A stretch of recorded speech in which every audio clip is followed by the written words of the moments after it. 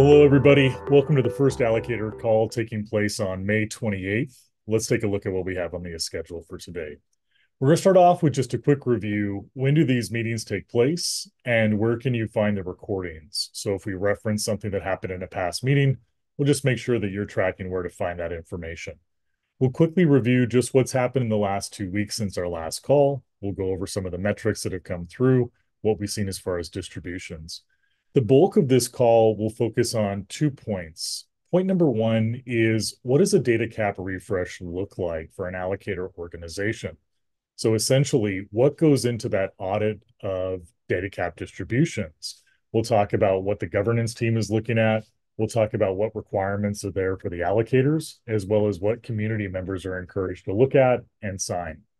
Next, there's a lot of updates that have been happening with making the rolling applications a real thing.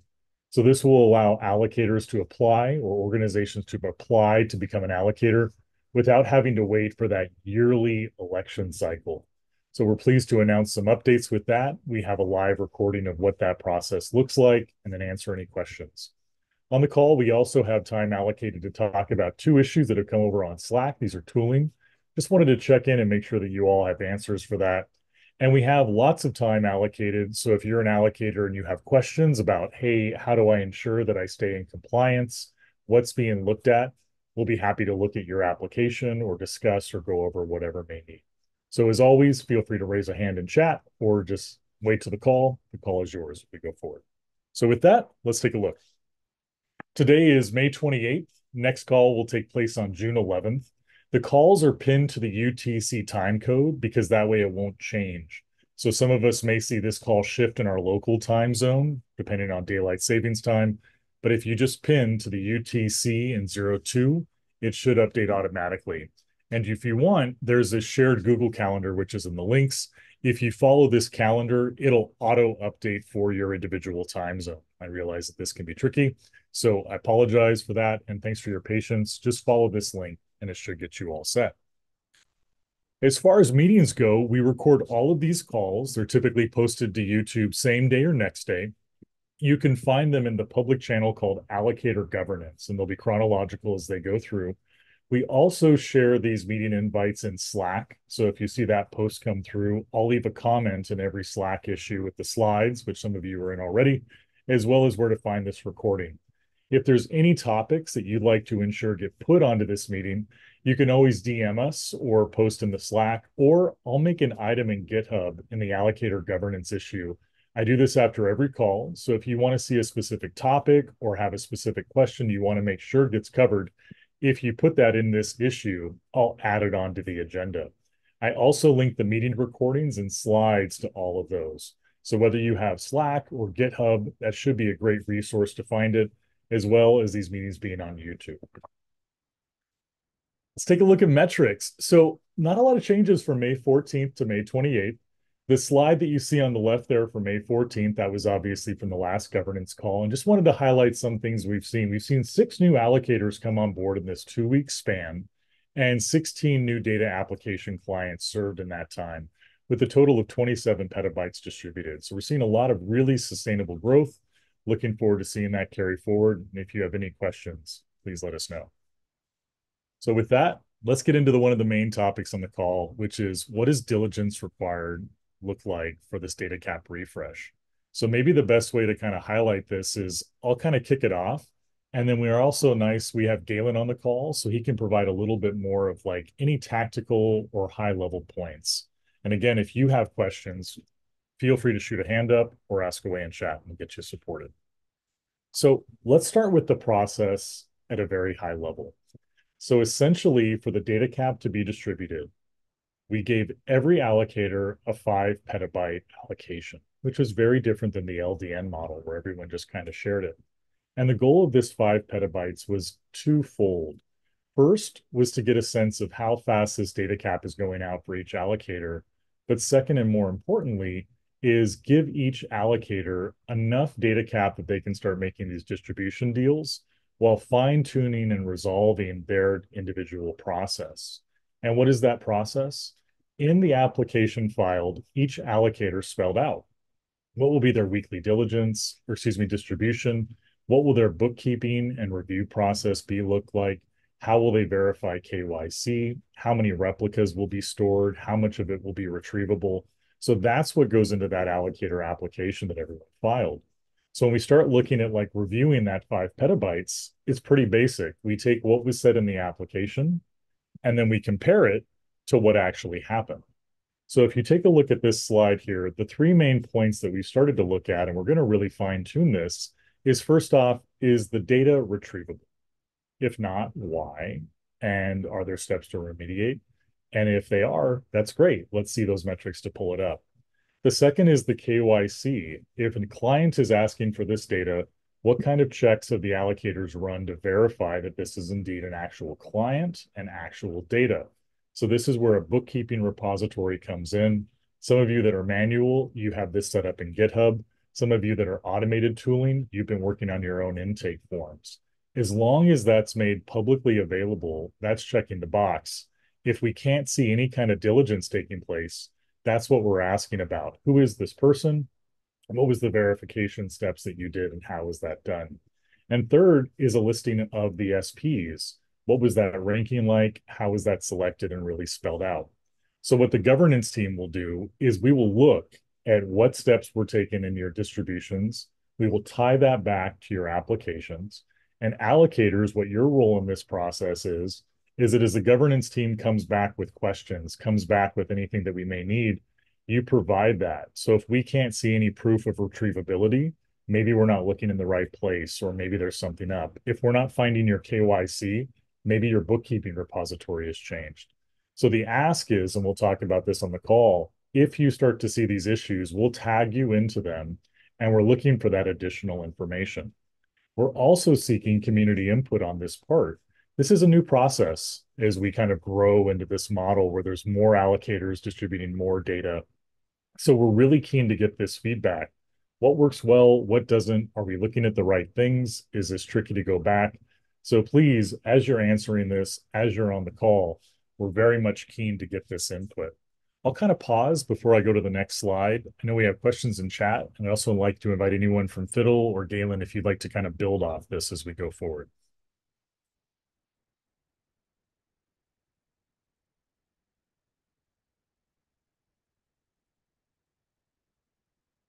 All right, I'm going to answer Faye's question. Faye, great question. So in chat, Faye Ann asked, hey, if an allocator received their five petabytes, but they haven't had a refill yet, will they get a refill in the next wave? Great question. So Faye, one of the great ways to kind of think about this going forward is less a wave of refilling the multi-sig like used to happen on the LDN model and more of like individual refills. So if you were allocated five petabytes and you've used none of them, you wouldn't get a refill to bump you up to 10 or 15 automatically. What it would be and what the process that we're working on developing with tooling and processes is that as you start to sustain your data cap distributions, when you reach around that 70% mark, the goal is that this automatically triggers and you'll get a comment from Galen and I in your GitHub. You'll be able to see what the distributions were answer any questions to clear up any diligence checks, and then you'll receive that. So to kind of clarify that, there won't be one large wave that comes through. Yeah, it'll just be individuals that go up. Yes, correct. Jumping in, um, we had some teams that asked for five PIBs. They received that. They have not started allocating yet. They're still building their tooling. That's fine. Currently, we would like to see people apply when they're ready, but we understand these processes are long and different development teams take more or less time. Uh, at this point, we're not trying to um, punish the allocators that were approved that are building some kind of automated or market-based pathway that have yet to start allocating. We would like to get an update from those teams um, and make sure that they're still active and interested. Um, but we are not reviewing all of the you know 80 um, applicants and topping all of them up at the same time. We're reviewing the ones that are running out of data cap. Um, we've gotten some anonymous reports uh, from different community members um, to look at those. We are going to be asking those allocators to also explain and justify uh, their sort of distribution plan. Is their data retrievable? Why or why not? Um, who are the clients that they are working with? Is there evidence of diligence following their application? Um, and if the allocators cannot justify that, they will not be getting um, topped up. Um, so we're going to be kind of working to make that process a little more standardized. Uh, it has not been the sort of highest priority. We've been working on other tooling things and getting other people unblocked, um, but we will be working to get more standardized reports and more automated uh, reporting to flag on those issues. So yes, that should address the um, questions in chat. And as always, we appreciate people's you know jumping in and helping us perform these reviews uh, and see. Um, the goal is ask allocators how they are going to work with clients, what types of clients, what type of distribution, what type of um, you know data will be retrievable.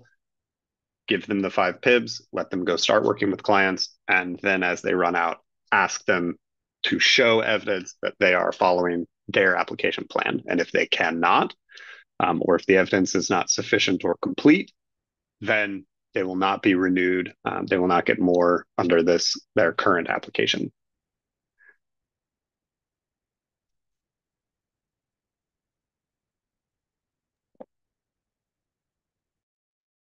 Thanks for that, Galen. One question that came through in chat was, does this apply to all. So if you just think about it like a bottle or a glass, which is the chat analogy, once you've consumed 70%, that's when it comes by for this review to go forward.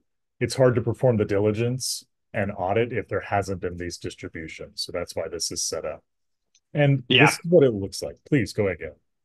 Yeah, just same. We we want to give uh, teams enough data cap to have them go start working with clients. We've also said this repeatedly. It is better to take a client, ask them some information in an application form, extend to them some amount of trust in a small amount of allocation, and then allow them to start doing deal making and then go verify. It's the same process that the governance team applies to the allocators. If an allocator shows up and says, I have 100 PIBs of client data ready to go, we say, great, here's five, go start to onboard it and prove to us that we have this trust that we can verify. We ask the same thing of the allocators. Here's five PIBs, go start to work with clients, give them a small amount, see how they behave. The thing that we care about more is are you asking the questions up front?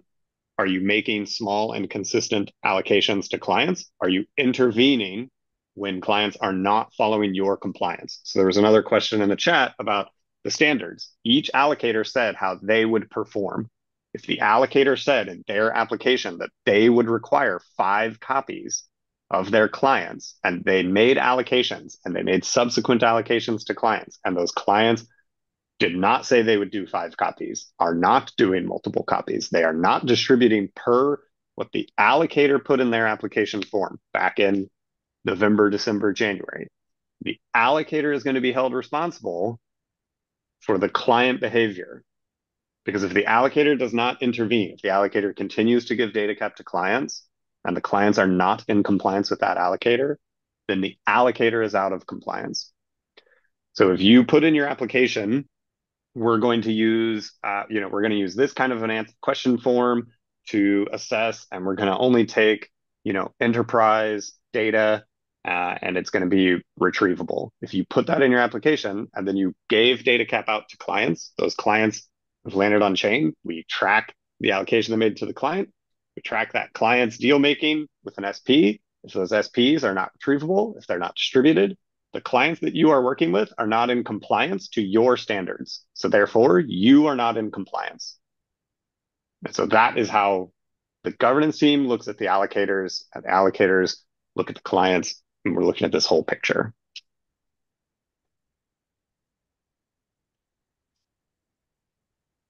This might be a great segue into what it looks like. So if you take a look at this slide, this is kind of a high level example of an issue. So if you see there's two links. The first link that you'll see is the actual application filed. This was around the November, December, January timeframe when we encouraged organizations to apply. And then the second is the diligence review that was kicked off. So the diligence review will take place in the allocator governance. It's the new refresh of the notary governance. And so if you see in that screenshot, what we're looking at doing is kind of getting a feel for how to build this out in a way that communicates clearly with you as well as the community of standards. So again, it's only looking at your application as Galen spelled out.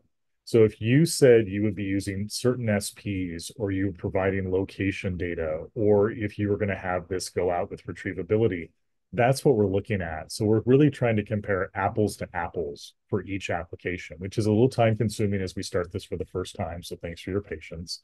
But then what we're encouraging is that when you see these issues come up and you're ready for that data cap refresh, you can log in to that allocator governance page and address some of the topics that come up.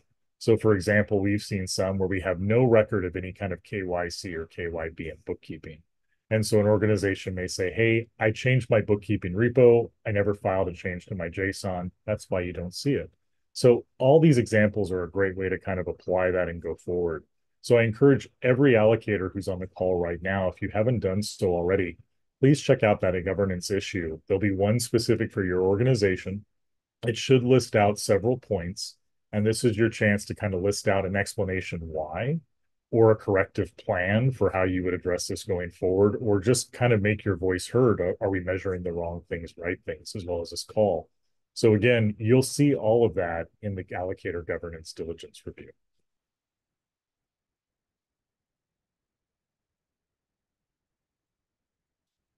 This is what it looks like when you log in. So when you come to this link here, the AI governance issues, you'll see these community diligence review for each allocator.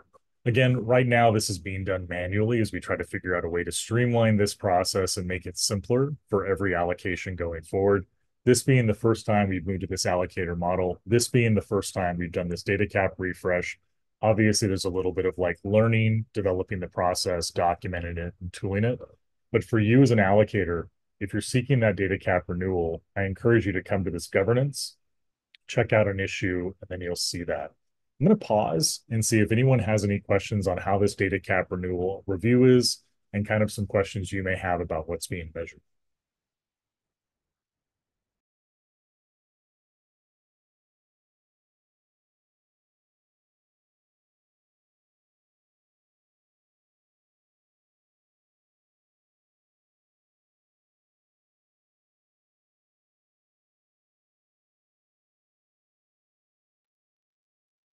All right, we have There's a, a chat from Wayne. Yeah. Galen, do you want to take it? Uh, I'm reading it. Give me one second. I just didn't want to move on. Um, indicates SP are either not available or have 0% retrievability. The client has checked with the SP and claimed through manual checking the SP there is retrievability. Data cap bot still showing 0%. How to handle this. Um, so we've talked about this uh, a couple of times. Retrievability can be a tricky one. Um, we have to have a scale consistent standardized way in order to prove retrievability. Um, if the client shows up and says that it is retrievable, that is not enough. That is not simply a sufficient answer to say that this data is fully retrievable to anyone on the network. If the allocator in their application said, we will be working with public, open, retrievable data, that means that that data should be retrievable by anyone who wants to go get it, not just the client. So that is different than private, encrypted, non-retrievable data. If I was putting a data set on the network and saying this is data that is widely usable and widely retrievable, therefore it should have data cap, it should be verified, it is adding value to the entire network to have this data on there. That means that a standard retrieval system like Spark needs to be able to also retrieve it. It is not sufficient for me to say, I have a really useful data set that the entire network should have access to, to then load it with an SP, and then that SP not allow retrievability at scale. And for me to say, well, I can still get it. That does not prove retrievability. That is a single claim. Um, we do not have the resources or the bandwidth to go verify every individual client's claim. That is why we will use standards uh, such as Spark um, so that we can go verify retrieval. Um, that's just where we are right now in the scope of the network. If there is a different standard, a different bot that a team wants to build, that they can build, they can open source, they can say the Spark uh, protocol does not work for us for X, Y, and Z reasons. And as an alternative, we have made another retrieval bot. Here's the open source code. Anyone can go audit it. Um, we are running it against these SPs and these client applications, and it shows retrievability. Um, we'd love to see that. We would love to see other retrieval markets um, get built and verified. Uh, but as it is right now, the governance team um, is not able to invest in the resources to build multiple retrieval bots um, across multiple different retrieval standards. Um, so right now we are using Spark.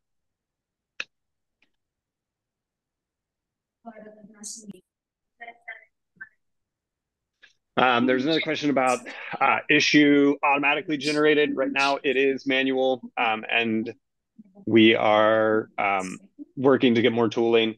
The allocators can also kick off their uh, review. If an allocator says, I've given out 50% of my data cap and I think that I'm doing a great job, and I want to prove that the 50% that I have given out is high quality and compliant, um, they could capture that as well if they want. Um, so Right now, it is triggered by uh, pr predominantly by the governance team, but yes, allocators can go in and say, you know, here's here's what I've done so far. Here's a snapshot of my behavior. Uh,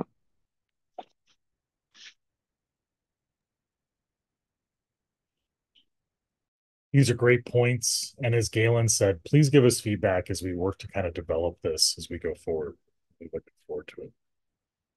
The next topic that we wanted to cover that we're excited about is what does the rolling application look like for the Filecoin Plus program going forward?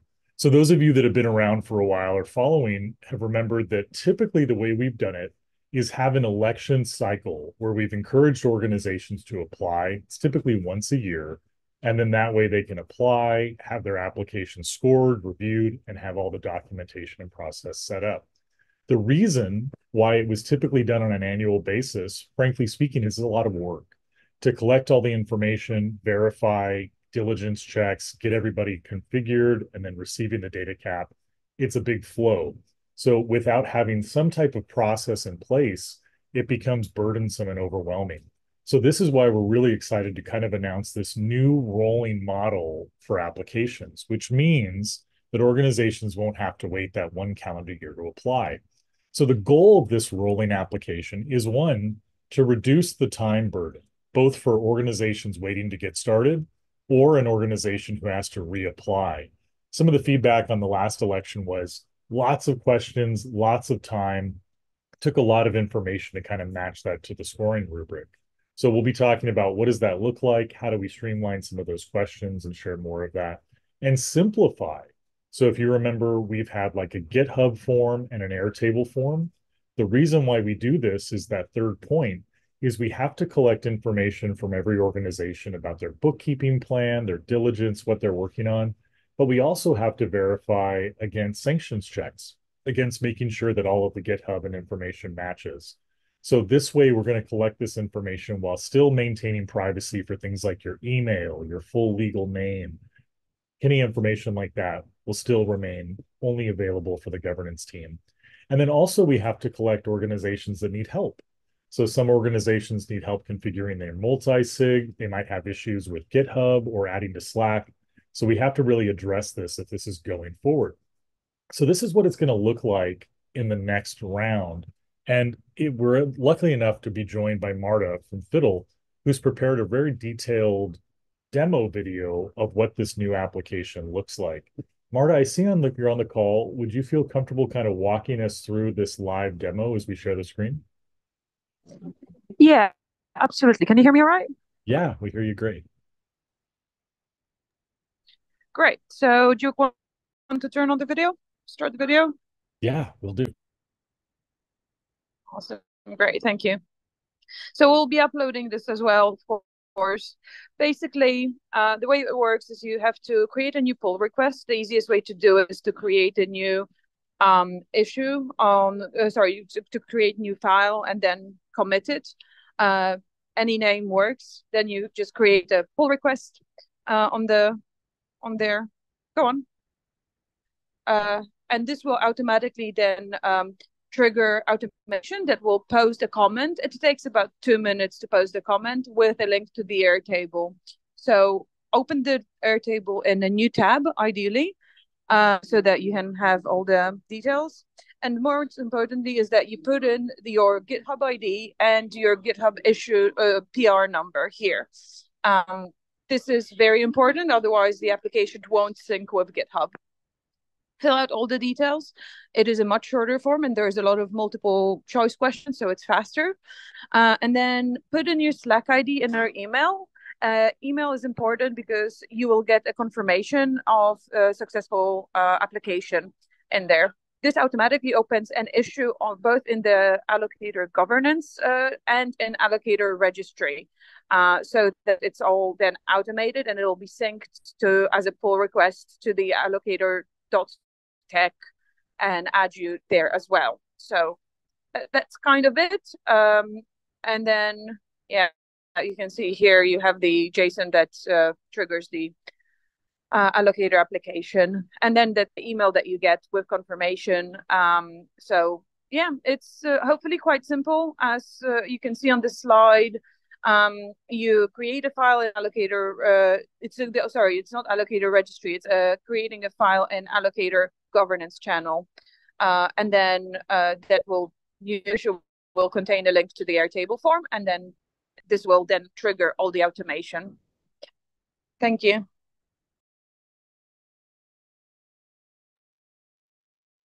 Marta, props. That's really beautiful how you set that up. I think that's going to be really helpful as we move forward. We'll pause before we move on to kind of any of the support, because this concludes like just the governance team sharing updates on how to apply for the rolling to not have to wait for the election, as well as the diligence review. So if you had any questions in chat or wanted to talk about your application, this would be a great time for any individual topics we can cover to help with. Uh, quick thing, I I added one slide uh, very late. Apologize. Could you re refresh, or it might be on the wrong um, slide deck now. I just wanted yeah, to. Sure thing. Let me go into it. Sorry. Thanks.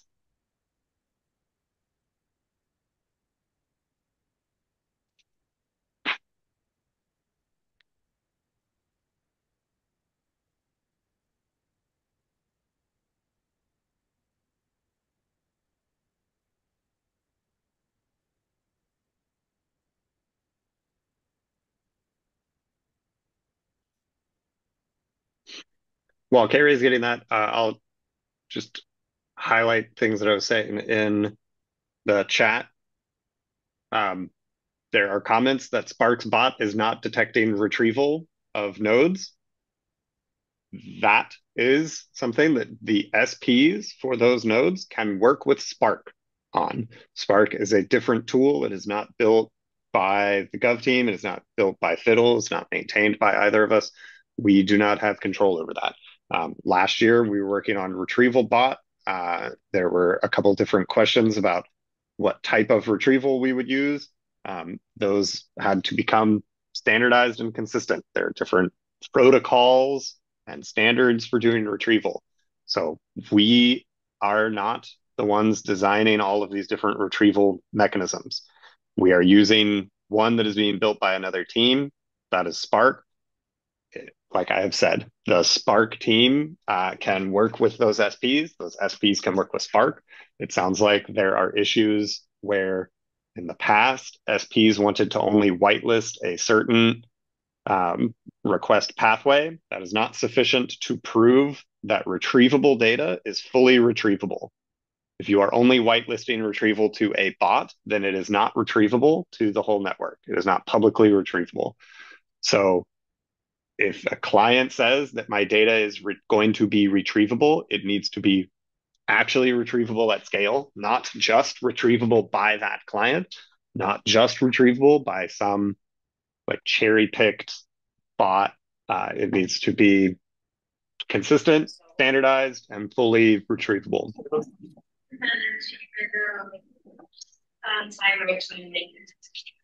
So there are um, the Spark team is the one that you would want to talk to if there are questions about what their mechanism is. Uh, that's just the standard that we are going to use for now. Um, coming back over to this, uh, we've discussed the request for allocators before. Um, this is something where we put some brainstorming time into thinking about different gaps and opportunities um, currently in the list of allocators. We think that there's room for some more automated meta pathways, um, some more market-based allocators. We have some ideas of things that uh, we would like to see. At this time, as we move into rolling applications, we are going to be prioritizing these RFAs. We're going to prioritize teams that are building things that uh, we think are novel pathways for data onboarding rather than redundant and similar pathways. Um, we have yet to see scale traction on some of these other pathways. Uh, so while we try and find uh, different ways to onboard high quality distributed data to the network, we think that some of these more automated or market-based pathways will be effective. So as we move to rolling applications, we will be prioritizing these. Um, we will be looking at applicants that have put in a very similar application to something that either existed previously or already exists. Um, this is not saying that we won't approve those. It is just saying that those might take longer uh, for a diligence completion, whereas the ones that are doing something like a GitHub automated pathway, uh, we have already seen how that could be successful. So we will be looking for teams to stand up those different pathways and build them. Um, we're thinking about these more as you know ways to onboard clients and data to the network. Uh, they do not have to be manual enterprise scale pathways. Those take a lot longer. Um, those we expect those to be more uh, manual diligence review. That means it's more manual diligence review on the governance team as well as on the allocators. Um, so we want to see more of these high speed, uh, high efficiency automated mechanisms. In the past, we've had a very large and detailed rubric with scores associated with each question. Um, we are moving away from that for now. We're going to try uh, looking at these applications, biasing towards is the application professional? Is the application complete? Is the application reasonable? And if so, we're going to bias towards uh, approving it and then if they cannot justify the claims made in their application, um, they will not get renewed. And so if, if you are a new team and you are thinking about wanting to get started as an allocator, I think your first best chance is to go look at the request for allocators, see what some of those types are, uh, see which one you think you have a chance of building, and then apply to build that. If you are trying to come and apply to do a very similar manual large data set application, um, you need to think about what is going to be your value add to the community. What additional things are you bringing to the entire network ecosystem um, that is different from what already exists? Additional bots that do retrieval, additional protocols for, you know, third party KYC, additional dashboards to show uh, health and metrics. What what are you building more than just extracting data cap value? So those are the things we want to see. Um, there uh, are a couple edits that we're making to the application form. Um, I'm pretty sure these things are live now, but if you put in an application right now, immediately on this call, um, we might be missing one or two questions or one or two um, answer choices.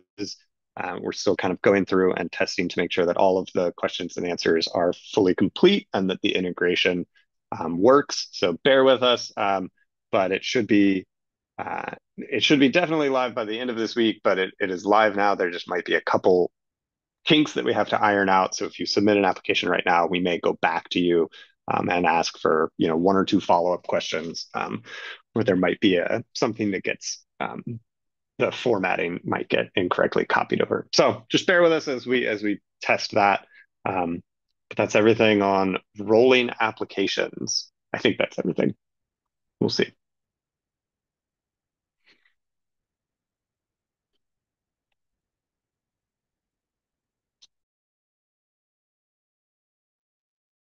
Thanks. This last topic is just trying to collect any of the DMs that we see come through in Slack or hit. So there was two questions about some of the tooling updates. I just wanted to bubble this up because Will and KZ had answered this from Fidl. Just wanted to make sure that they had it. So there was an issue with the tooling in the allocator page where the incorrect allocation amounts were showing. So Will is tracking that. I think they've updated the back end and they're saying that there's going to be a release probably in the next couple of days so keep your eyes on this. I wanted to thank Mike for filing this ticket and appreciate all the screenshots that you put into it. The other issue that came up in Slack was 54, and this was essentially saying, hey, there's no automated trigger for the next round of data cap disbursement. So wanted to let you know on that one. There might be two reasons why and get some clarification on this call if helpful. As we talked about with the introduction of the review to receive additional data cap, you won't automatically receive a top off. So if I'm understanding issue number 54, if there was any kind of tooling, that's still a ways away that would automate that check. But just to kind of give you guys a heads up, right now there won't be an automated, you've used five PIBs, you now received your next tranche. That's where that diligence cycle comes through that we're may going through. I see KZ's on the call. KZ, is there any additional information that you'd like to add on those points for us?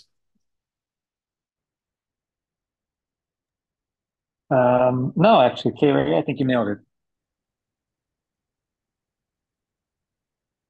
Nice. And thank you guys. Realize a lot of tooling is coming on board. As You guys are killing it. Well, with this, I'd like to open the floor up with any time. Again, allocators on the call will be happy to look at your applications, your diligence reviews, answer any question. This this time is yours. Whatever you'd like to talk about, floor is yours.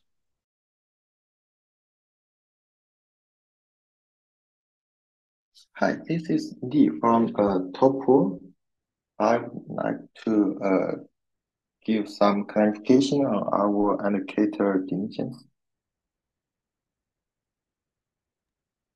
Yeah, Lee, please. Okay. Yeah. Uh, so so uh, because we are uh, the first time as notary, and we we have found that some circumstances are much more complicated than we expected because, uh, for example, uh, as allocators, we are responsible for our clients. But for clients, as we contacted the clients, some clients complain that actually it is not that easy for them to find the perfect uh, like storage providers from them, and sometimes they have like they have to do their own diligence on their uh, storage providers, and uh, like we have like uh, together we develop some some some routines so that they can do their diligence. For example, they ask the storage provider to provide a, a, a like telephone number with with the country code they are uh, uh, they claim the storage providers claim they are in, uh, but uh, in most often, so the storage providers are not willing to like make their telephone number public. So we we ask the clients to call them, and it some and uh, in most cases it works, but we cannot public their like make their telephone number public. And uh, another thing about retrievability, I think the main problem is how the Spark system like take samples of the retrievability. For example, if the storage provider that our client contacted, they already have like 500,000 deals, but for that part of deal is not relevant to our client.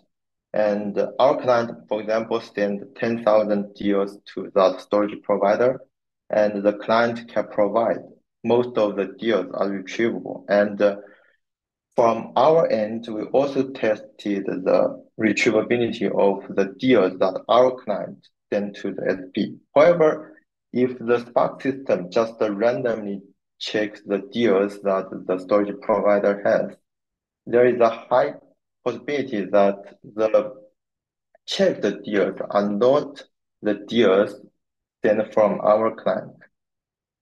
So that that, that makes our client has very, very limited choices on on storage providers. Actually, most of our clients, potential clients, uh, told us that actually not a lot of storage providers are willing to to like accept real online deals. And yeah, that's pretty much what I want to say.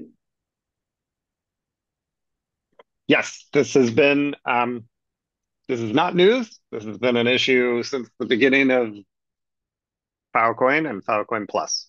We don't know which storage providers want to take real deals versus only want to do um, black box minting. Uh, there are some storage providers that claim they want to take real deals and make them retrievable, and then they don't, and they don't make them retrievable at scale.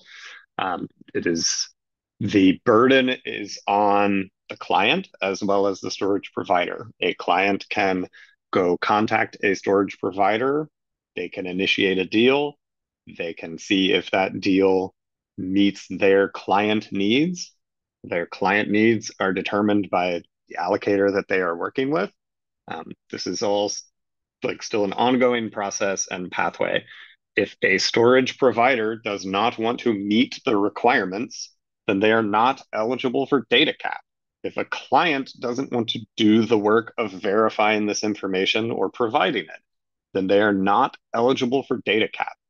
It is not a requirement on Filecoin that you get data cap or use it. This continues to be a problem where everyone wants data cap to be freely available and standard standardized for every use case. Um, and that is not how the network is designed. The network is designed to allow deal making peer to peer. It does not require data cap to function. If a client or an SP are not willing or able to meet the requirements of the program, the requirements of the allocators, the requirements of the other parties involved, then they are not eligible for data cap.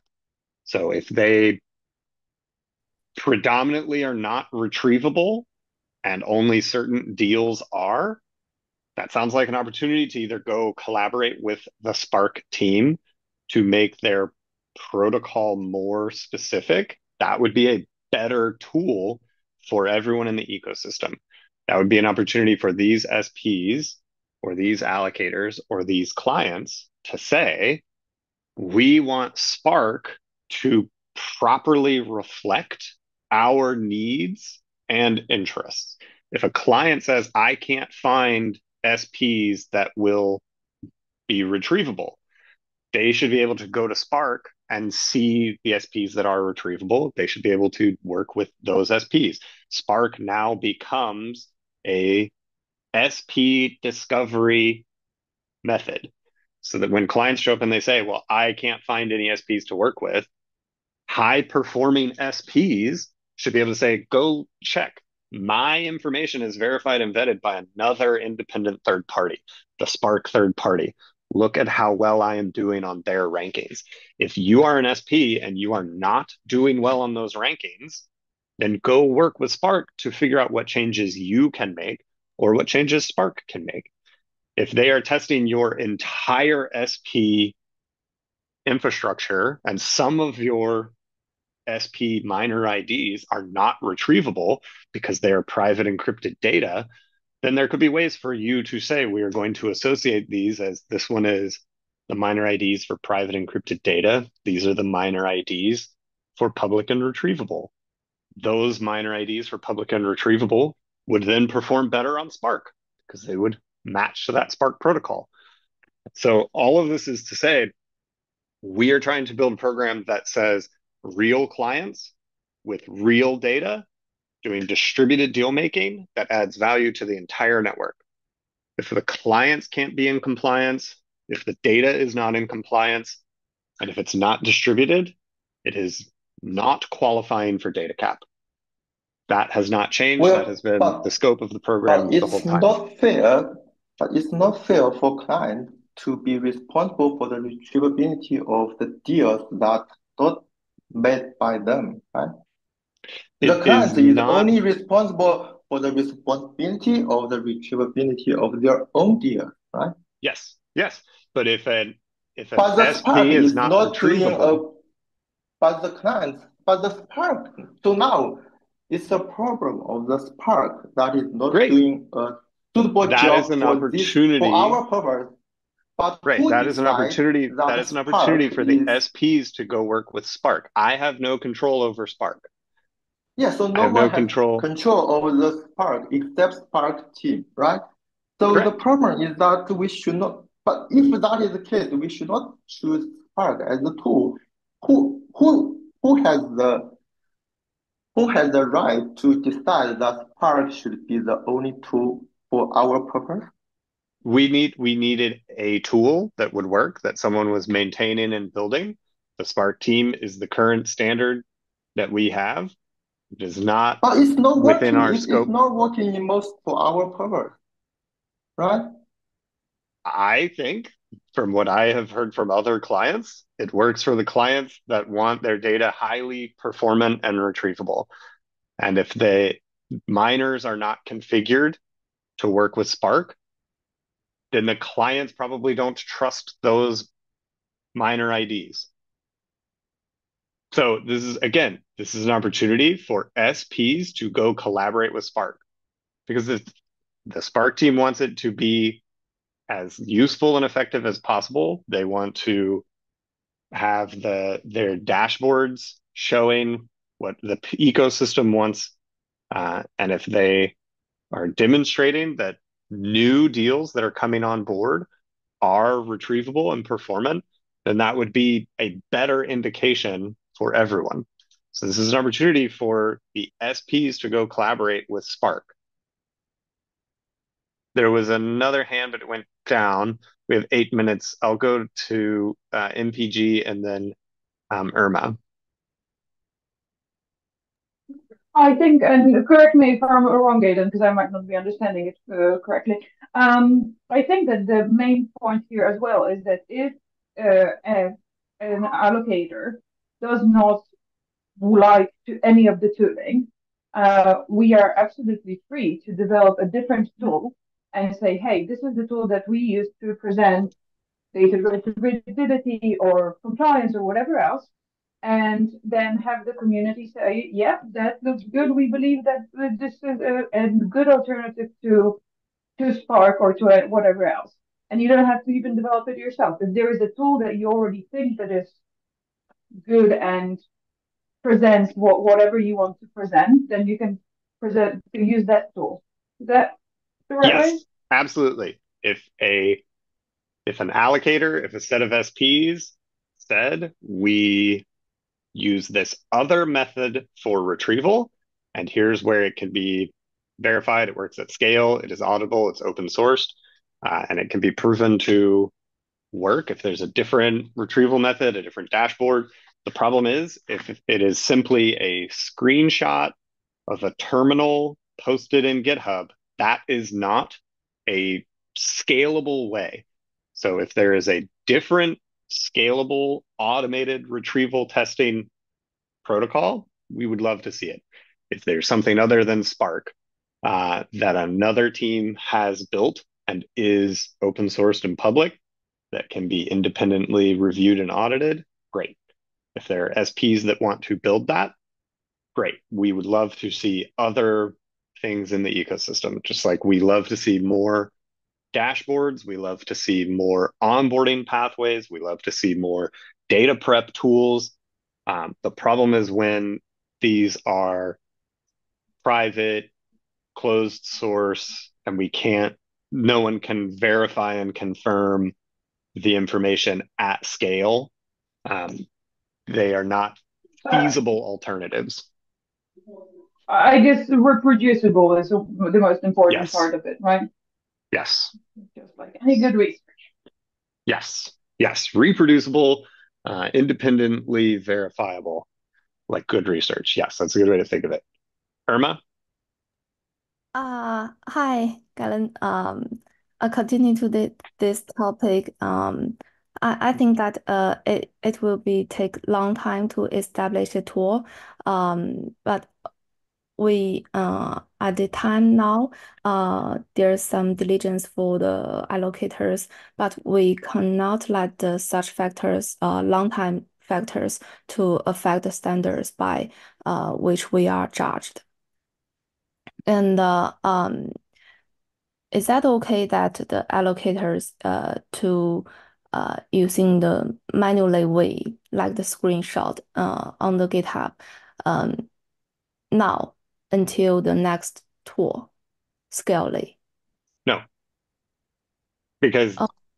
the governance team is not able to go review a screenshot and prove to the ecosystem that that screenshot is real, verifiable, meaningful.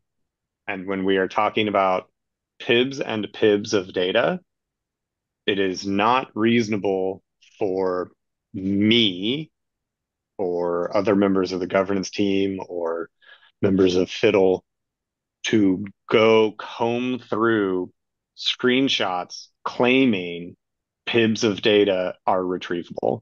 If we have tools in the ecosystem that exist, and those tools say that data is not retrievable, then to our standard, it is not retrievable. So if we try and follow the trust but verify, the governance team asks the allocator what data they are going to approve. The allocators said, we will approve public, open data. If it is not public and open, if it is not able to be retrieved at scale, then it does not qualify. And so right now, until someone builds a tool that can prove that demonstrably, then it is not retrievable. If it is just one person using a terminal and posting a screenshot, that does not prove that the data is retrievable. That does not prove that the data is real data. And so where we are in this ecosystem, the Filecoin Plus program cares about real clients with real data doing distributed deal making. And if a person claims that it will be open, public, retrievable data, then it needs to be open, public, and retrievable. And if the only way that we are proving that is from one person yet again saying, trust me, here's a screenshot, but no one else can verify that. And it cannot be verified at scale. It can only be verified by single deal size, one off. I tested, I tested one deal out of 5,000 and that one deal was retrievable one time. That is not sufficient. That is not sufficient evidence that this is a real client doing real deal making.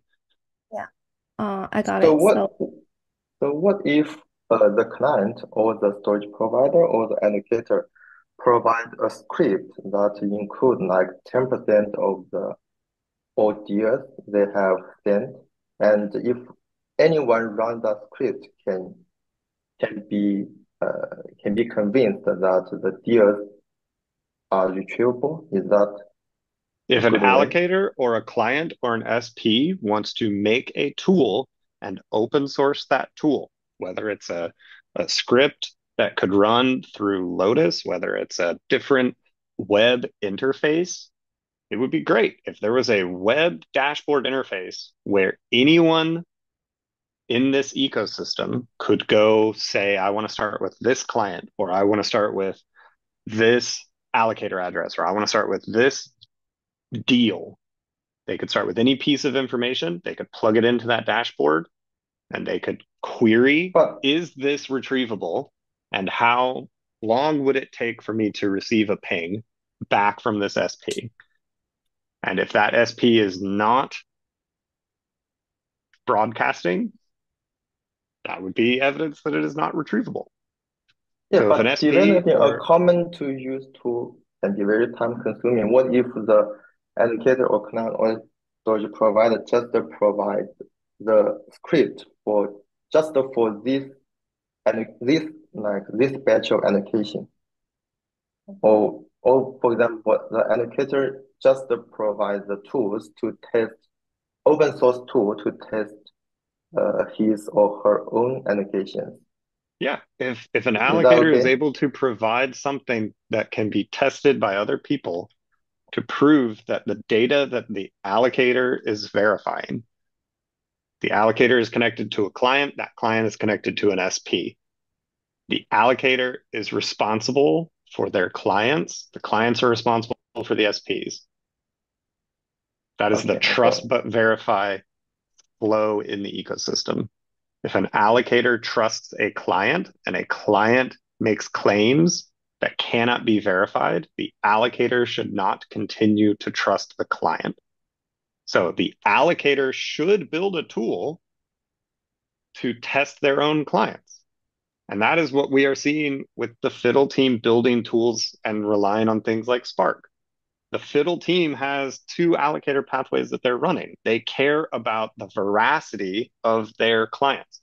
If the Fidl team says we have someone coming and saying they have this public open data, they want to use our public open data pathway.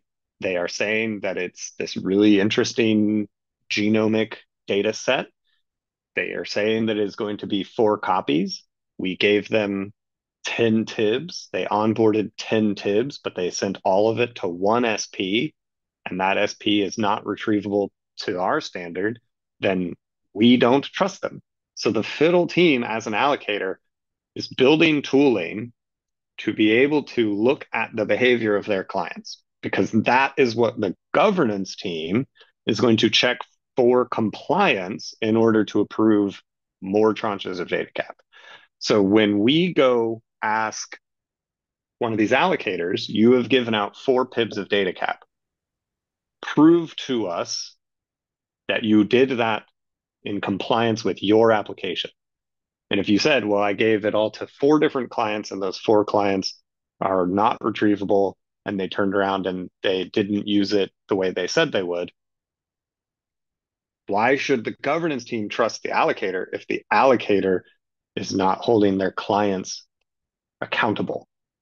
So that is how this has to flow. So if an allocator wants to build a mechanism, a script, a bot, a dashboard, a web interface that someone else could go audit, that would be great. That would be something that could be used by multiple teams. Uh, I think I think MPG's hand might just still be up from before. Um, I'm going to go to Irma. Yes, that's correct. Sorry. All good. Um, yeah, uh, one question is that do we have a consensus on uh what's the what's the good retrieval rate? Like uh we're using the Spark now. It a to good what's a good Spark retrieval rate? yeah. Um, I mean, 100% would be great. But, you know, Uh-huh. it's a it's a process. So I think I think it's a matter of like if there is no evidence of retrievability and no evidence of um, you know, communication back to clients, Uh-huh. that would be a problem. So if so if the Spark is showing no retrieval success for an entire miner actor ID and the allocator is continuing to give data cap to clients who are continuing to work with that miner with no retrieval, you know, that's an issue. But we've got something like 50 uh 54 miner IDs that have greater than 50% retrieval. Mhm. That seems that seems to me that, you know, greater than 50% is is a target starting point. Um, but again, if if a SP is set up in a different way and they have non-retrievable deals at at the same miner actor ID as they have retrievable deals. That seems like something that .sp could work with Spark or could work with how they're configured. And they could change the way their miner actor is set up so that all of their incoming new retrievable deals would be under a new miner actor ID that could increase that percentage in a reasonable way. Yeah, I agree. Uh, I think we have we we've talked too much about retrieval in this meeting, and uh, I actually I want to talk about the deletions of the ND labs now. Uh, but I think I, ha I have no times. Uh, we are five minutes over, yes, but um, there will be uh, another meeting uh, in in a handful of hours, but I think it'll be very late for for most people. But yes, I know that a lot of people care about retrieval um, because yeah. uh, that is one of our greatest mechanisms to show that if a it is a real client with real data doing distributed deal making and adding value to the network um, is that these things are retrievable. But we are looking forward to seeing other RFAs like on-chain deal pricing to prove that this is data that someone wants on the Filecoin network. Um, private encrypted data that has other diligence and connected associated deal pricing is another way that we would like to see. This is something that the entire network wants to demonstrate utility and value, um, where we consistently will try and push as a governance team is that we want to prove that these things are real clients with real data doing distributed deal making that adds value and utility more than just one individual actor pretending to be the client, pretending to verify it, and storing it only with themselves. That is the path that we are trying to uh, build away from. And so, all of the things that we ask of these ecosystem partners how do you help show value? Do you attract new client customers that tell stories of adding their value to Filecoin? Do you build new tools that the ecosystem can use? Do you build new data onboarding, data prep pathways? Um, these are different things that we've seen in the community, and we're excited to keep pushing these ecosystem partners to add more than just that closed loop, you know, black box process. Um, so rolling applications um, are going up. If you have a new pathway that you want to propose, if you are concerned about the pathway that you're currently running and it not being approved for future data cap um, tranches from the governance team, go check out the new rolling application form. Um, and there'll be another call uh, in a couple hours. Thanks, everybody. K Ray, any closing thoughts? No, thanks for your time, Galen. Really appreciate it. You too, Marta. Thank you. Well, friendly hellos. Welcome back to the second allocator call taking place in the Filecoin ecosystem on May 28th. This is a repeat of the morning's call, and let's take a look at what's on the agenda. We're going to start out with just a quick check-in on the logistics for the call. Just go over making sure that you all have the calendar invites and are aware of the time, and a quick refresh on where you can find these recordings if you happen to be looking for them.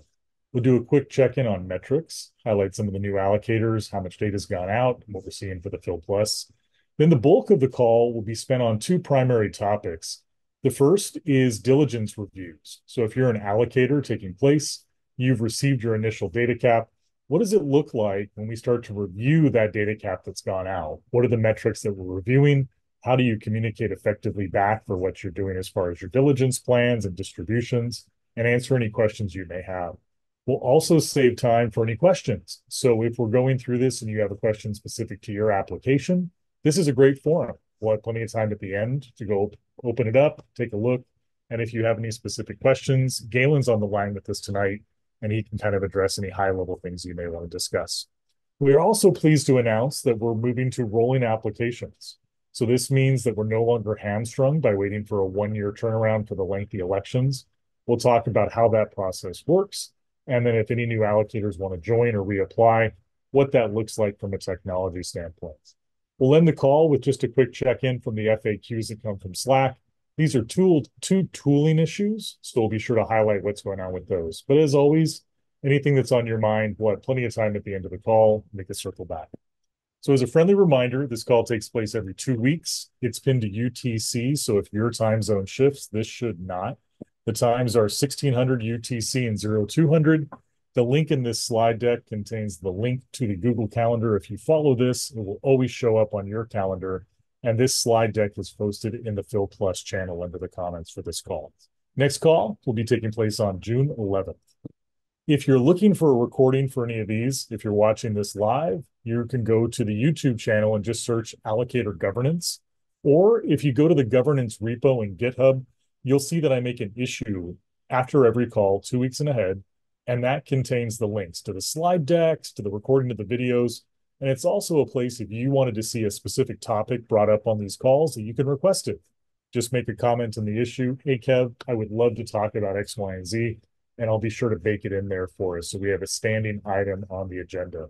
This is our time, so whatever you want to discuss, please add an issue and we'll bake it in.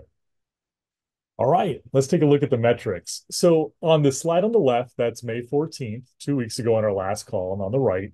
And the big changes that we've seen is six new allocators have come on board and started allocating data. So welcome, glad to have you, and looking forward to those distributions that you make. They served a total of 16 new clients over that two-week time frame with 27 petabytes distributed. So big numbers going out. I'd like to welcome those that have started making their initial deal making, and we're here for any support you may need. All right, bulk of the call, diligence. So allocators received their five petabytes about maybe 75 days ago or so. And during that time, the kind of ask was with this initial allocation of five petabytes, you as an organization, as an allocator, created an application to be in the program. So what we're looking at is what did you say you were going to do? And what did you actually do? And that's what this diligence review is doing. And so with this diligence review, it ties back to a process. And what that process is, is that every allocator specified how they would be doing their deal making and distributions, number of replicas storage providers worked with, how they would be providing KYC. So all we're doing in this review is just seeing if the organizations are maintaining the action plans that they said they would be doing. That's all this is. So if you said you would require a certain number of storage, certain number of replicas, that's all we're looking at in this process.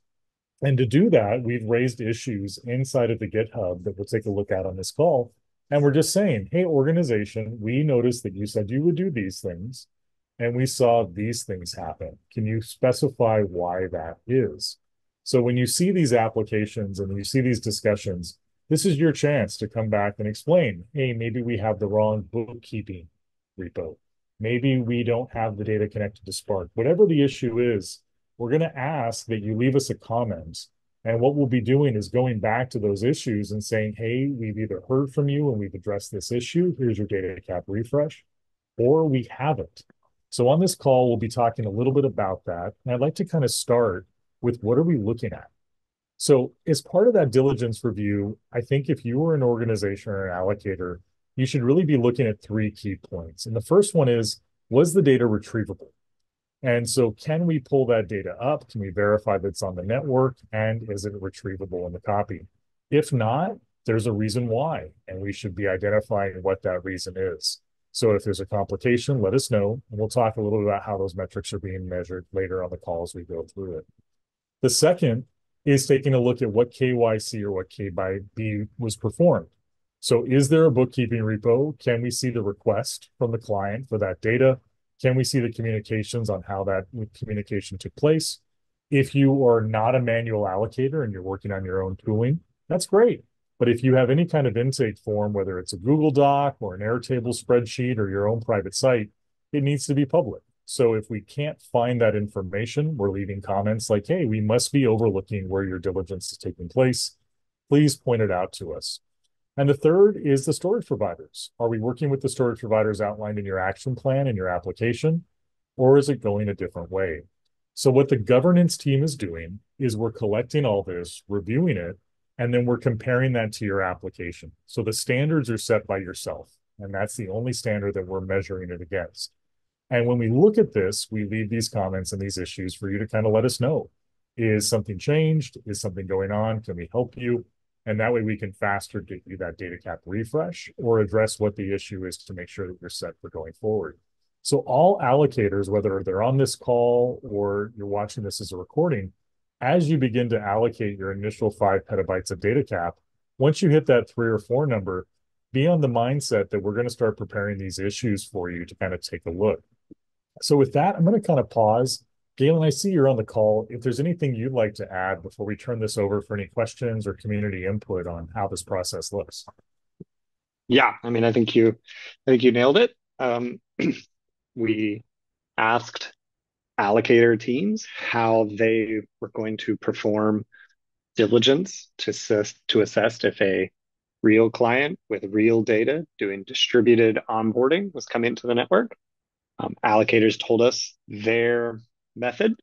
Um, some allocators said we are going to require a certain number of copies and it is public open data and that data should be highly retrievable uh, to anyone else on the network. And that is why we think that it deserves data cap because it is, you know, a research data set, and therefore we're going to onboard copies of this research data set. What we are seeing right now um, is, you know, last year we launched some tools to start checking these various claims at scale. There's a CID checker, there's work towards a retrieval bot, there's work towards um, an AC bot, automated uh, compliance bot that would look at a couple different metrics and make you know faster assessments. And so we're continuing to invest in bots like that. And as it is right now, the pathway that we are using for retrieval, this was something that came up in the morning call. So I'm just going to talk about it a little bit right now, is we will be using the um, Spark protocol from the, the Filecoin station team. Here's that uh, Spark repo where you can find them.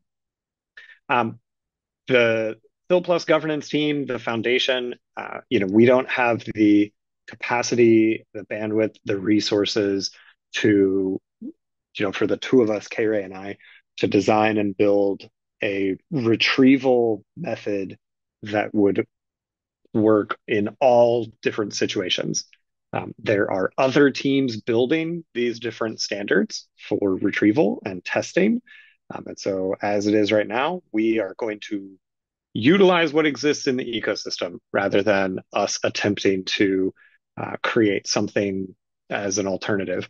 Uh, we've heard from different people that Spark, you know, is not their preferred mechanism. Um, and we understand that's fine. Uh, but for right now, that is the mechanism that we are going to use. But you are open to design and build something else. Um, but that thing needs to be uh, independently checked. It needs to be, you know, able to be replicated, just like a, you know, good uh, research study. That was one of the, the analogies that came up this morning.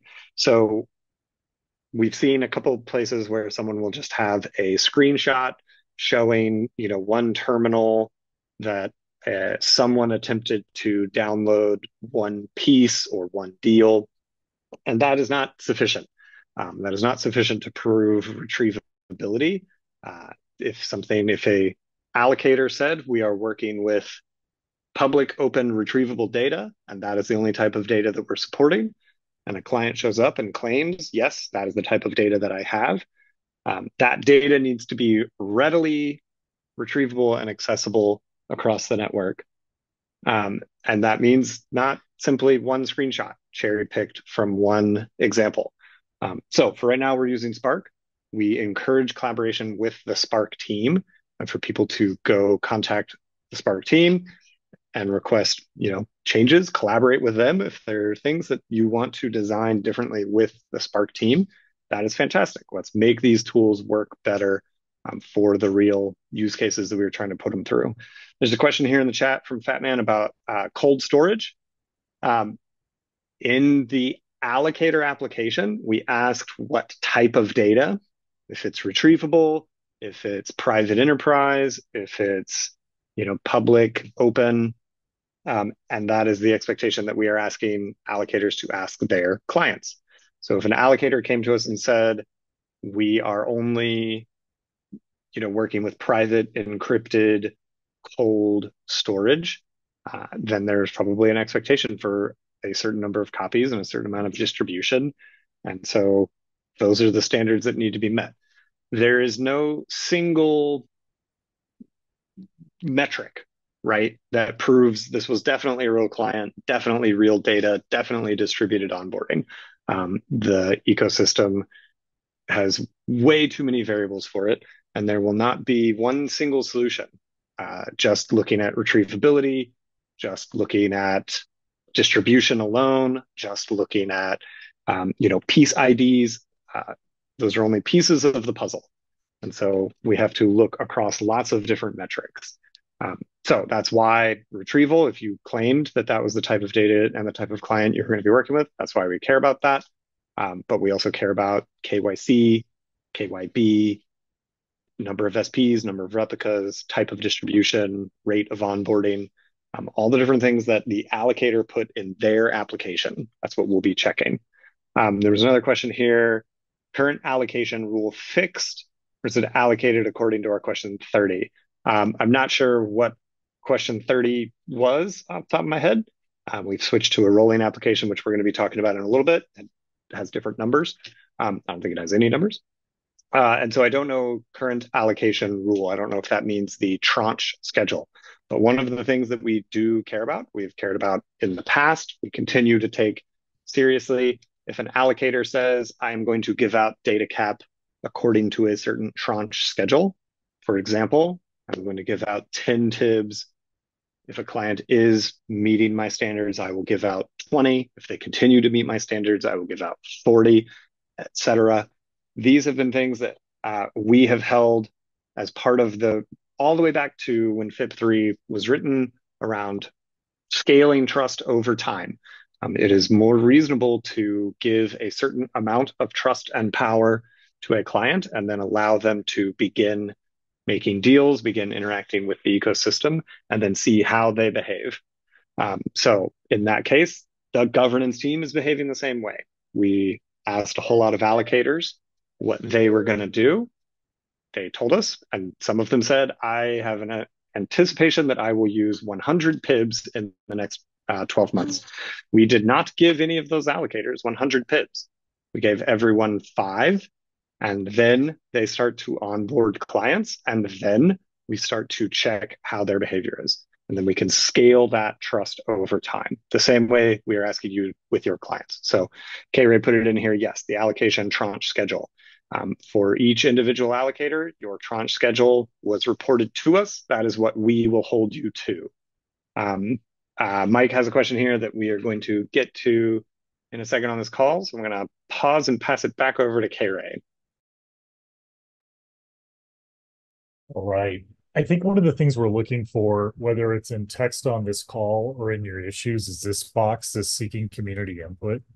Great questions. And full disclosure, as we move away from the model where every notary was sharing the same multi-sig with the LDN to more of an individual basis, we're trying to find what is a good left-right limits for these.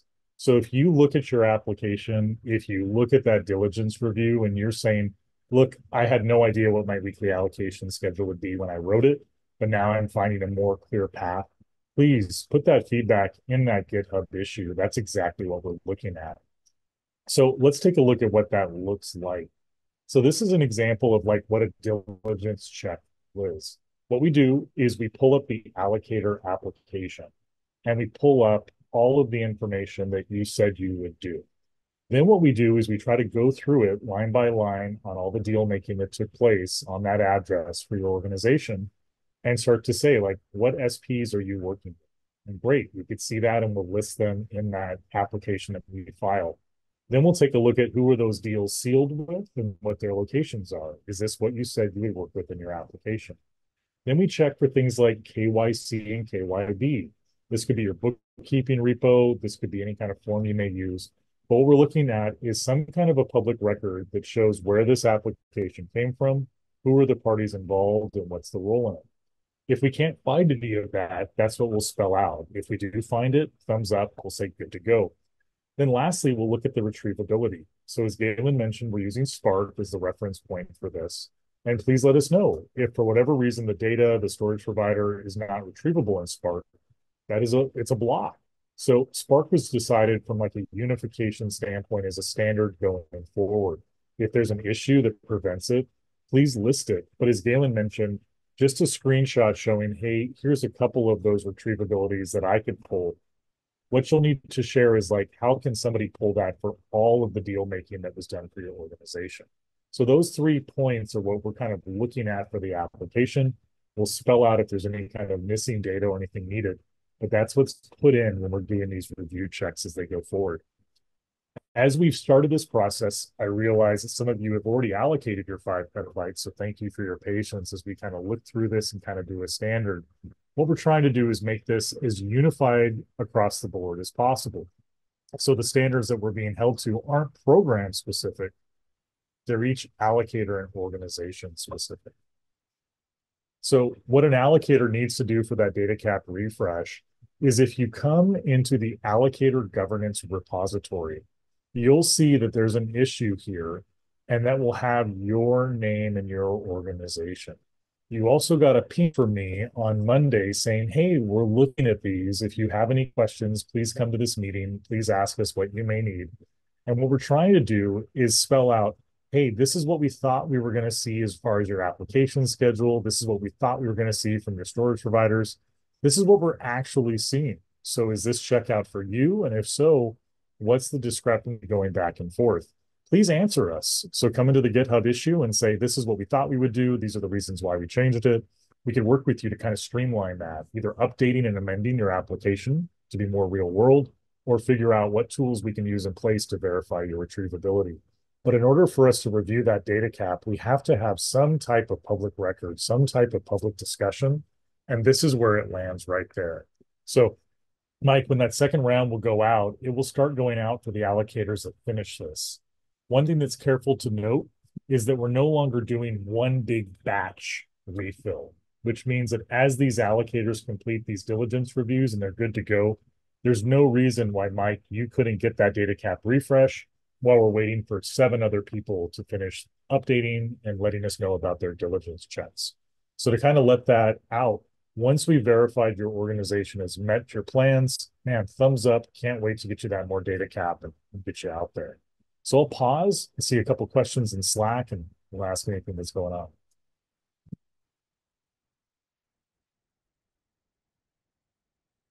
So in chat, there's a question from Genesis. When will the bot be triggered?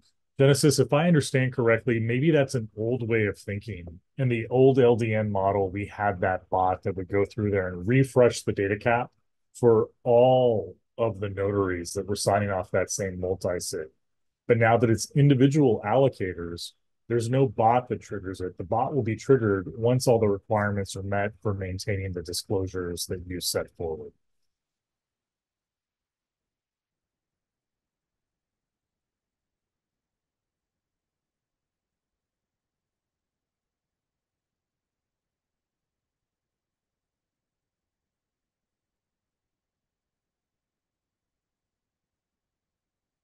Also like to pause here. If anybody's on the call, EF, Leo, Joss, I know that I sent you guys a couple of pings. Thanks for coming to the call.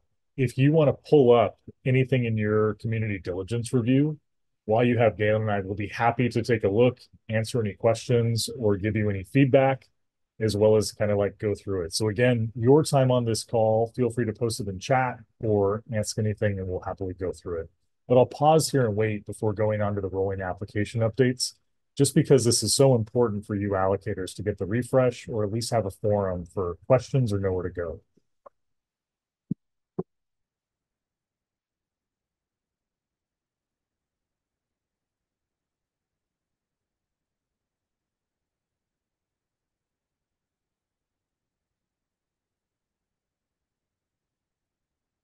Well, all right. If anything comes up, please just post it here. And again, as Galen posted in chat, if you come into the allocator governance issues, you'll see an issue for any organization that's crossed that 75% threshold on their distributions. Love to take a look. Leave us a comment. We'll come back and make a discussion to try to get you all set up. We're here to help. just let us know and pretty much spell it out in this issue is the best way to get it. All right, next big update is rolling applications. So those of you on the call that have been notaries for multiple rounds that are now allocators, the old model that Filecoin Plus adopted was using an annual election cycle. So notaries and allocators could put in once a year and then onboard onto the network to begin disbursements. The reason for that was it's a lot of work to get all the accounts set up, to get the multi-sigs configured, to get everything locked in step takes time.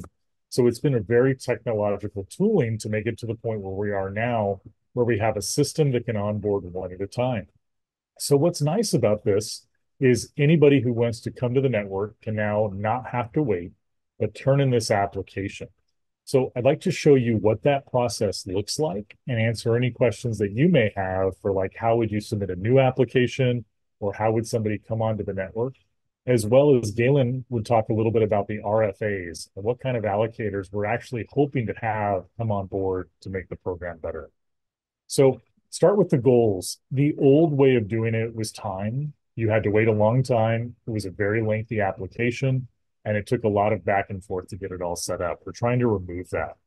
We're also trying to simplify the GitHub to Airtable. So you just have one standard process and that will automate it back and forth. We're also trying to maintain transparency while keeping information public. So things like your email, your full legal name will not be shared in GitHub. They'll be maintained in Airtable. That way the governance team can perform the sanctions and diligence checks and then also we're trying to get a way to how can we check out and give you help with like setting up a multi-sig or how to do this as a process on the first step. So what we're going to do on the next slide is show you a little bit about what this process looks like. So when you go through it, what you're about to see in this video is you'll come to the allocator governance page in the GitHub repository. You'll make a new pull request. And when you do, it will automatically pull up an Airtable form. You take the issue number from GitHub, you place it into Airtable, and as you fill out that Airtable form, it will collect the needed information. So I'm going to share a screen here and just kind of walk you through what that looks like. So as you can see right now, you come into the allocator governance, you make a new issue, and you just name it. So right now we have a new branch with allocator application, but that would just be your name. And then once you make that pull request, it's going to take about a minute or two, so just be a little bit patient as it goes through. And as you can see it loading right there, it merges the pull request. And as soon as it does, you're going to get this link to Airtable. When you follow this link inside of Airtable, it's going to take you to a new page. And if you've done this application before, this is going to look very familiar. It's going to have your ID. That pull request number is what comes from GitHub. So there's 46. So that's 46. And that links the Airtable to the GitHub. Then you'll answer information about your organization. We tried to make this much less free form text. So you shouldn't have to write paragraphs and paragraphs, but you just enter what is your contact information? What are your plans? And then when you fill that out and you come back into your proposal, you'll see that all of the information from Airtable has now been migrated back into GitHub, except for that personal information, like your email, your full name. We'll keep that separate in Airtable. And the goal is that there's a lot of transparency in this program. Who's getting the data cap? Where are you from? Where are you representing it? So again, all of these issues are going to be found in the governance. Once you make that issue, you'll see it. everything from your JSON file to all the information on your organization. The goal is this should be much faster, much easier, not just for you, but for us in processing. And we can spend a lot of our time helping unblock versus a lot of that mundane stuff.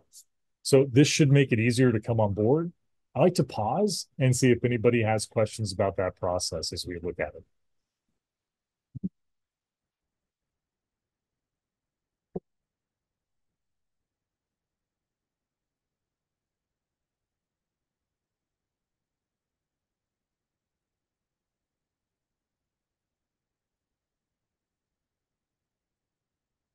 All right. Well, any questions, please feel free to bring it back if you signed up to be a manual allocator and you've distributed your five petabytes, and for whatever reason, you don't think that it's going to be possible to maintain your diligence plans, your KYC plans, this could apply to you. We are prioritizing allocators that are outside of the manual model. So this could be automated, this could be market-based allocators that come on board. So I'd like to hand it over to Galen, who's going to kind of walk us through what that RFA is looking like for different types of allocators that we may want to submit for. Yes, thank you.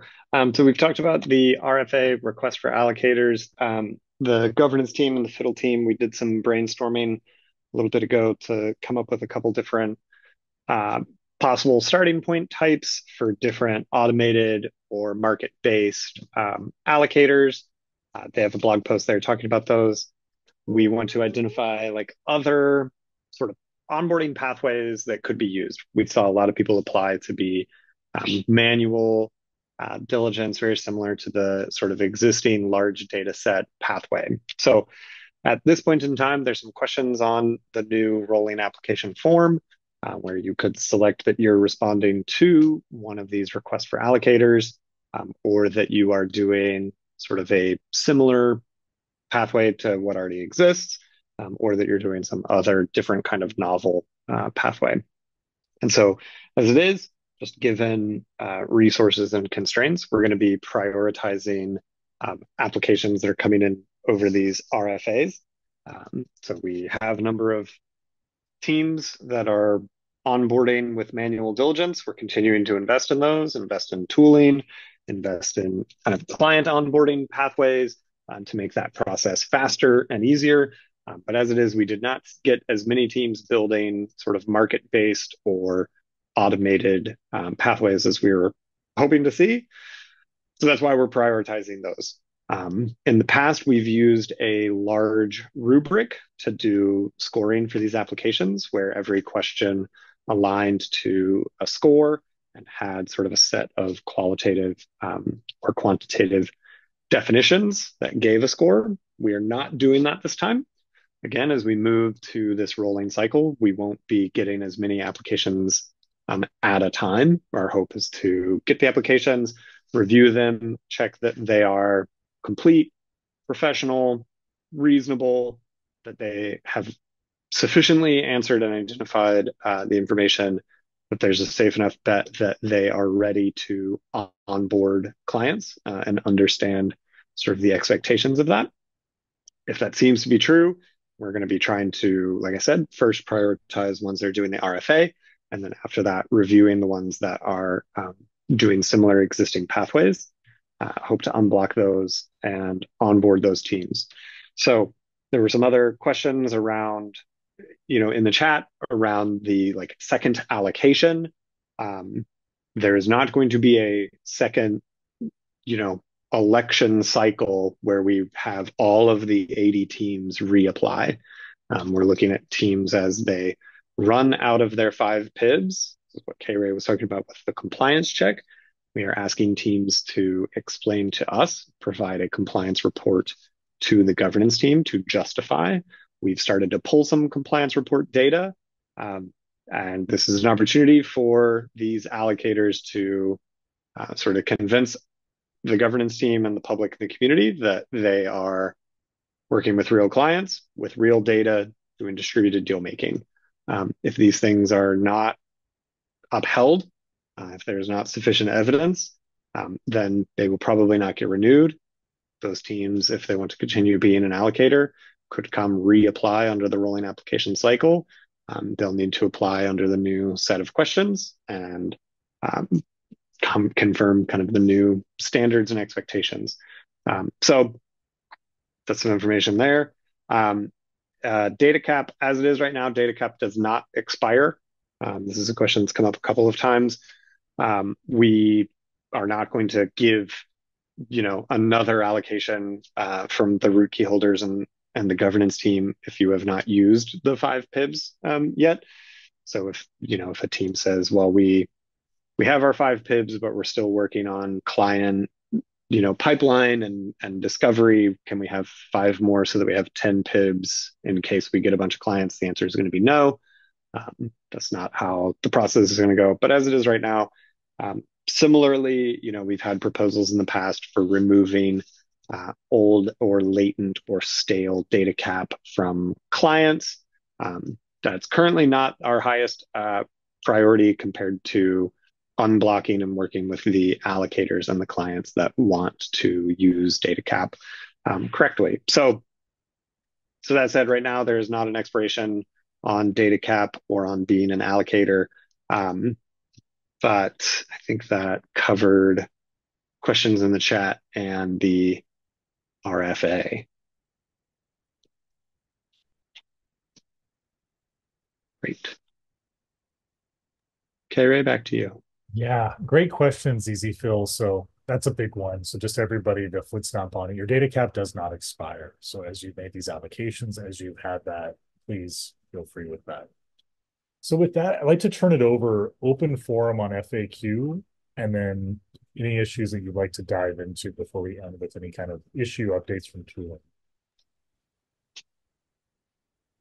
Oh, sorry. Uh, maybe I had the slides out of order. Was the tooling update after FAQ? Yeah. Oh, okay. My bad. Ignore me. That was my frequently asked question. Where are we? Let's just do it now. We'll do it live, Bill O'Reilly style. So I'm trying to highlight some of the questions that come through with Slack. You probably see Slack gets a lot of information. So just to bubble it up, there was two tooling updates that have come across the, the pathways and Fidl's working on them. So just to kind of speak on their behalf, issue number one is tooling issue 50. And what this is, is essentially what's going on is the incorrect allocation amounts are showing up on the allocator tech page. So what they've done is they put together a staging instance, and will make it easier for them to troubleshoot and diagnose this. A lot of the team was out for a U.S. holiday, Memorial Day yesterday, back in the office today, and what they're kind of committing to is an update by Wednesday or Thursday for kind of correcting that issue. So you should see 50 corrected and fixed as a result on the allocator tooling page. The second was a question about, hey, how do I automatically trigger my next round of data cap? So that won't be coming through in tooling. Right now, that's that manual process where once you've used that data, we'll make an issue that you can come through and say, hey, you've used your data. This is how we saw it being used.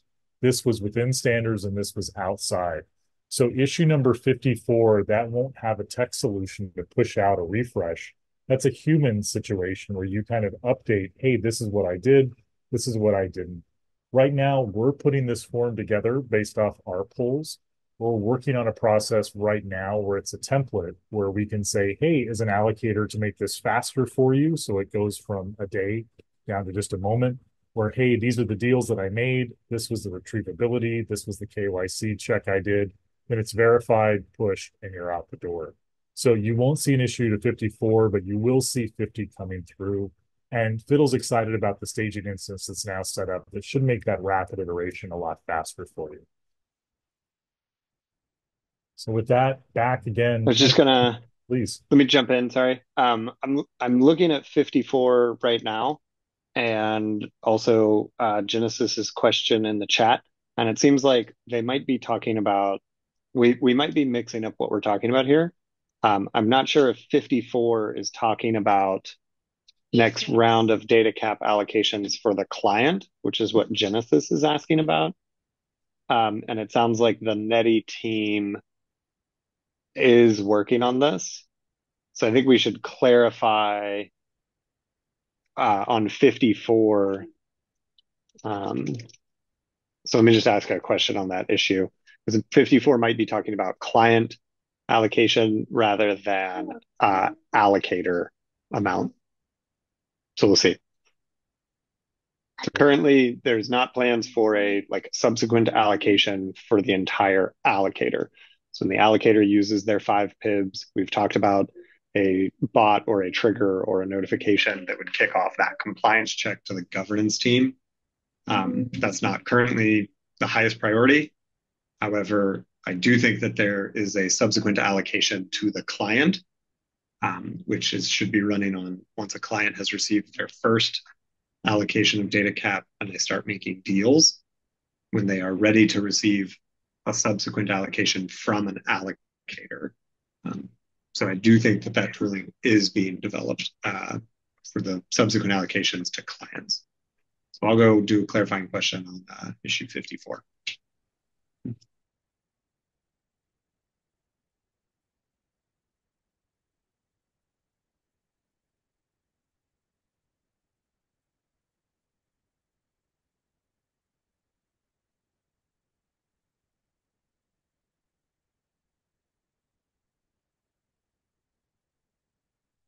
We'll make one last open call. Again, if anybody wants to highlight an application or discuss, we're right here.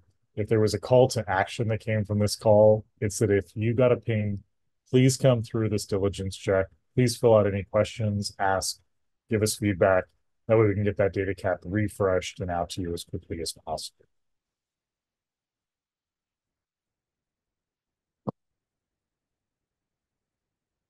All right, everyone. We'll be available in Slack. If you have any follow-up thoughts or questions, the Fil Plus allocators is probably the best channel to post that for the fastest response. Just post it there, tag myself, Galen, or any member from Fidl, and we'll be happy to work with you and get you what you need. Because again, call to action, please come through and do your diligence reviews, leave comments, leave feedback. That way we can get you that data cap refund. All right, everyone. You have a wonderful two weeks. We'll see you on the June 11th call. Here if you need anything at all. All the best, everyone.